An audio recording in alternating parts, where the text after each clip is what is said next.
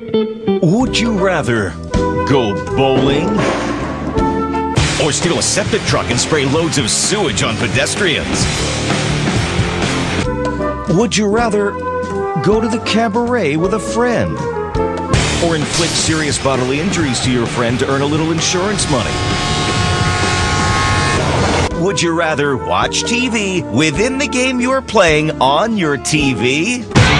Or dress up like a cop and rob a liquor store? Streak in public? Join an illegal fight league? Or run security for local celebrities? Or base jump? Car surf? Trailblaze? Compete in demolition derbies? Barnstorm? Or tons of all new activities that totally kick ass? Now we know you're out there doing those other things right now, and that's fine. But when you're done, we'll be right here doing some crazy